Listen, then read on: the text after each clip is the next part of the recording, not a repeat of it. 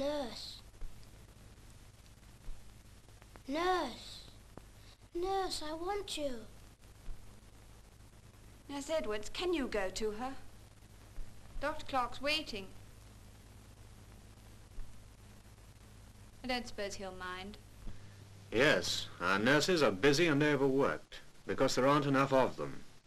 Many hospitals have closed wards because of that. Who will help? You will? Good. But you can't like that, you know. First, you must learn nursing. It isn't difficult. While you're learning, you're paid. The job is interesting, and there's plenty of companionship. One day off a week, and four weeks paid holiday a year. And the most satisfying job of all, healing.